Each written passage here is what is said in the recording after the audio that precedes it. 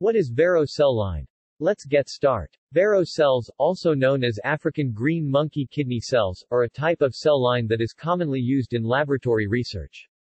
They are derived from a kidney cell culture of the African green monkey, Cercopithecus aethiops, and have been continuously grown in the laboratory since 1962.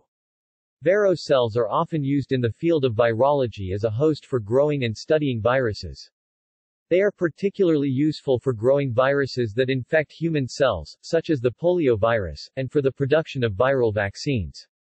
Vero cells are also used in other areas of research, such as cancer research, where they are used to study the effects of drugs on cancer cells, and in toxicology, where they are used to study the effects of chemicals on cell growth and function.